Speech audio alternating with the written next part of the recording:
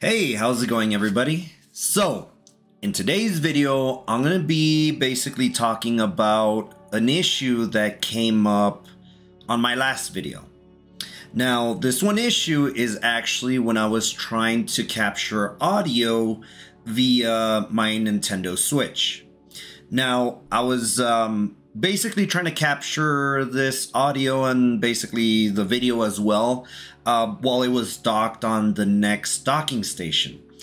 Um, once I actually started recording, I noticed that there was a buzzing sound um, whenever I was recording. So I decided to go right ahead and basically just kind of give an explanation on, you know, basically what was going on when I was trying to, um, you know, record the audio and video on it. Well, I found out that because the Nintendo Switch is connected to the dock and it's providing, you know, constant power to it, you start getting kind of like a, an electrical buzz uh, whenever you actually try to capture the audio on it.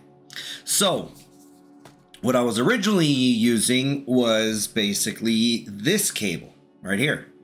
So, this cable is actually the Elgato uh, chat link, and this one's actually the old version. So it's just basically, it's just the cable itself, just so you can kind of see it, see it right there. So it's just a cable. That's all it is. Now, there was an adapter that I can I could buy. I think it was like about maybe like nine dollars, probably ten dollars. Uh, that you could go right ahead and basically adapt to this uh, to you know reduce the what is it um I guess uh, it's called a noise isolator. So there was an option to go ahead and basically get the noise isolator and connect it here and, you know, call it quits.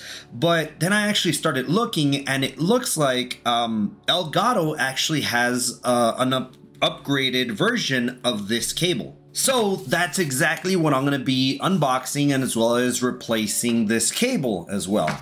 So right here is the Elgato ChatLink Pro. So this one actually has a built-in isolator. Let me see if I can... There you go. So that has a built-in isolator right there. You could go ahead and toggle on and off. So let's go ahead and do this. Let's go ahead and basically unbox this and then I'll go ahead and basically connect it to my computer and uh, I'll go ahead and let you hear the noise that I was actually hearing. And then basically, as soon as we turn on the, the what is it, the noise isolator, um, basically the buzzing will go away. Alrighty, so I, I really don't expect anything too extravagant on this one. I mean, most likely it's just gonna be the cable itself.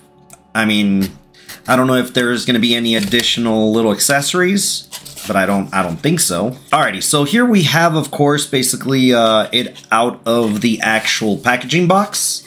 So here's, of course, uh, some information. So if you want to go ahead and pause the video, you could go ahead and uh, take a look at that.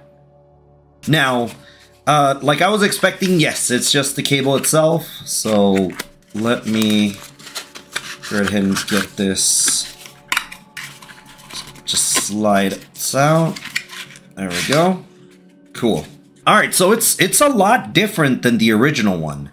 I believe I think this one's probably going to be a little bit longer than the original chat link. Alrighty, so I did just right now verify. So the actual new Elgato uh, ChatLink Pro is actually nine feet uh, in length compared to the original or the original one, which was only six feet. So you get an additional three feet right there. So as you can see, um, basically right now it's uh, off, but we could go ahead and toggle this on. And of course, that's why I need this cable for, is to go ahead and basically stop that buzzing noise. Now, I will tell you this. I did experience that exact same buzzing when I was actually capturing on my PlayStation 5. But I only, uh, you know, noticed the buzzing when I was actually actively uh, charging or or the power was actually plugged in to the actual controller itself, and then that little buzzing noise would come in. Alrighty, how this is gonna work is basically this cable that is basically just by itself is actually to be going to the line in on my actual computer. Now, I might I might do another video on how to go ahead and basically set up you know, probably like a PlayStation 5 and or even probably even the Switch as well, and how you could go ahead and connect the audio and actually be able to capture the audio and the video on it. But nonetheless, this does go in the line in uh, port of your computer. And then this side will actually go to the actual switch itself. So the switch will uh, has a 3.5 millimeter little uh, port. You just go right ahead and connect that there. And then on this end, you'll actually have uh, your actual headphones connected here. Alrighty, so now that I went right ahead and explained that, let me go ahead and move over to my actual main workstation and let me go ahead and exactly show you exactly what I was hearing and then now, you know, that I'm that I have this on, how the buzzing will go away. Alrighty, everybody, so I'm back in my main workstation. Let's go ahead and switch over to the Nintendo Switch so I can go right ahead and, uh, you know, point out that buzzing sound that I was talking about. Okay, so we're in the, the menu right now. So I'm going to go ahead and be quiet for a little bit, and you're going to actually see that little, you're going to notice that little buzzing.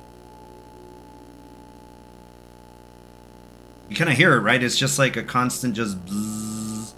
So that is basically with um, with the noise isolation off. So let me go ahead and turn that on and then basically the buzzing will go away. There it is. That buzzing is gone. So now let's go ahead and actually start moving around the menu and see if we actually get any audio.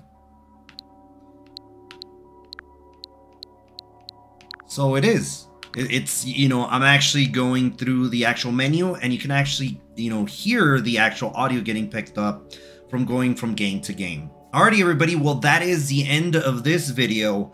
Um you know at first i was like really wondering what would be a good fix for it because i mean don't get me wrong it's like i do want to go ahead and you know record videos um and gameplay but you know it's just that little buzzing sound was being a little bit annoying and um you know, on that topic, you know, I hope actually this helps other individuals out because I mean, I had that chat link for, you know, quite some time and I had no idea that Elgato had a had an upgraded one that had this feature on it. So, um yeah, so nonetheless, you know, I, I really do hope that uh this video helps you out. But nonetheless, uh, thank you very much for watching this video. I really do appreciate you. And like always, we will catch you on the next one.